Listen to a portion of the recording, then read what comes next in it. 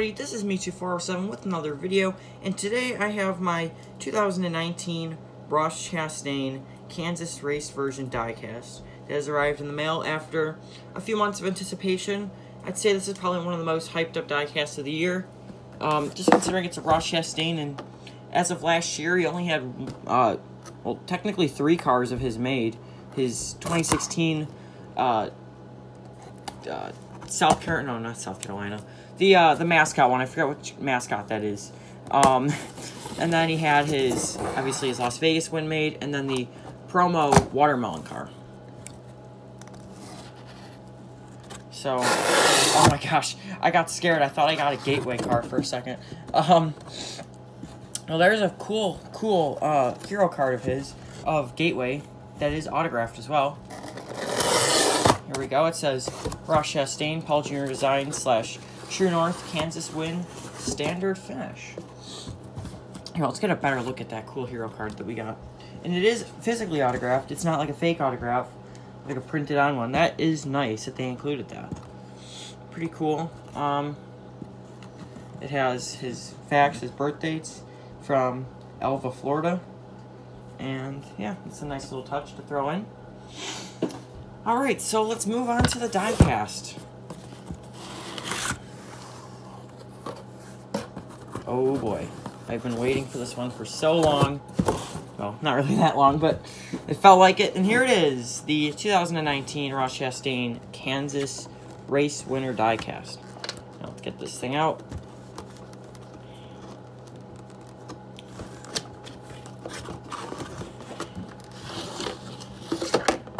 Alright. And let's see, is this a Lionel autograph? No.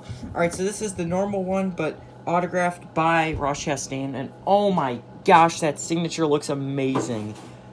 Wow. This is my first ever paint pen autograph, too. Now, that is cool. So we have uh, our winner sticker, of course.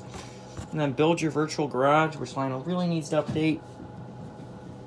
And then here's the hero card. So Ross Chastain, Ally 250 winner. And Chastain captures first truck win at Kansas.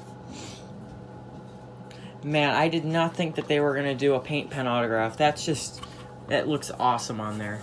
I thought they were going to do the black one because I've seen that with Lionel. But I don't, obviously Lionel doesn't do uh, paint pen autographs, but wow. And this truck is a lot dirtier than I thought it would be. Um, it almost, I don't want to say it looks too dirty, but it kind of does. But it, it still, it just looks absolutely amazing. So, um, let's get this thing off of the base. It is, uh, obviously screwed down to this. And, um, yeah, so far, first impressions of this thing, it just looks absolutely amazing. Now, I ended up buying this diecast off of Niece Motorsports' website, their uh, shop, which I believe they are still in stock if you want to get the paint pen autographed one. Um, select the uh, race version diecast, and then who you want it to be signed by. You can do Ross Chastain, Al Niece. You can do, um, and Chastain's crew chief. What's his name? I forget, for Niece.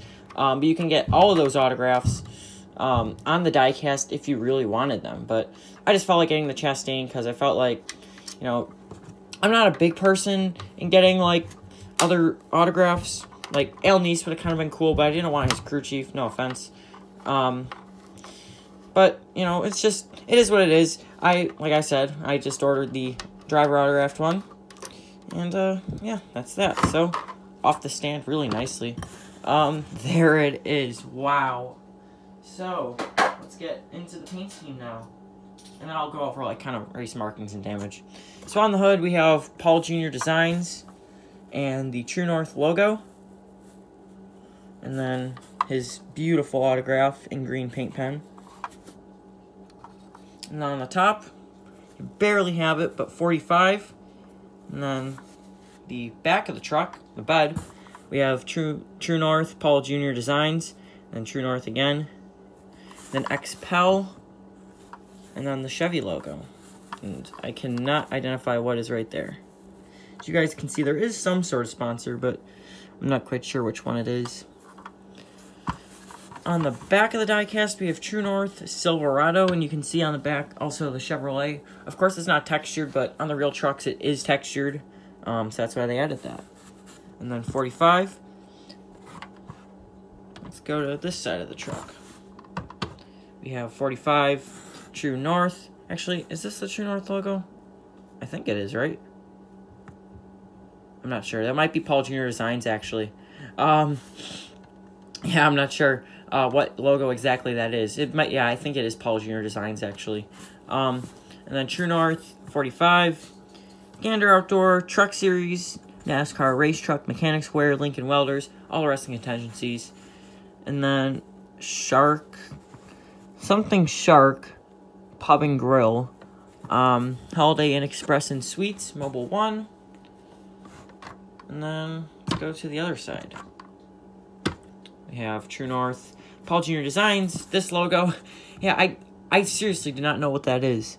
Um, 45 and contingencies once again. So now let's go over race markings on this thing. And boy, oh boy, does this thing have a lot. Of course, trucks don't have opening uh, hoods, but that doesn't really bother me. Uh, so you, you can see all the confetti here. All of that confetti. Uh, this is probably the most confetti-bombed car of the year. And, of course, all of this dirt buildup. And I'm not quite sure what this is. It almost looks like a mini fire. Because, like, it's yellowed, but it might just be a bunch of dirt. I, like I said, I don't know what that is exactly. Um, all of this dirt. It almost looks like a car from, like, Days of Thunder with all this dirt. It looks, it looks so good. Um, then we got, of course, here the burn marks on the vinyls because of the exhaust. And then right here, this corner was uh, pushed in a little bit, like it was caved in. The bumper was cracked and separated from the quarter panel.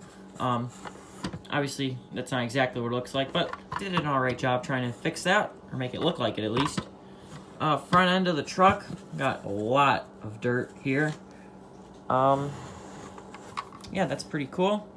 And then this side, dirt, no real, no real race markings. Um, mostly just dirt and grime and rubber.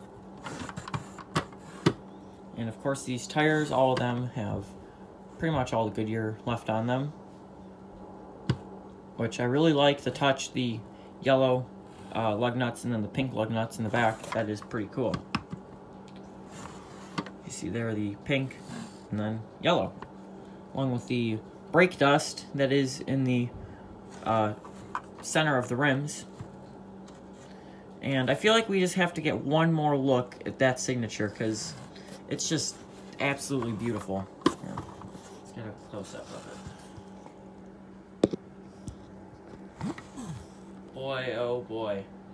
That is one nice signature. So shout out to Niece Motorsports for this wonderful diecast. Um, it's just, it, it's an absolutely amazing diecast. I recommend adding this one to your collection as soon as possible. As you can see, the watermelon trucks, if you look at eBay, those things are already going for almost double the price of pre-order. So if I were you, I would try to get your hands on this one fast, as it will probably go. So if you guys are new to the channel, don't forget to hit that subscribe button, turn on post notifications, watch my Chase Elliott Watkins Glen review. That will be posted after this diecast. And uh, yeah, it's been Me2407. Thanks for watching, everybody, and have a great day. Bye.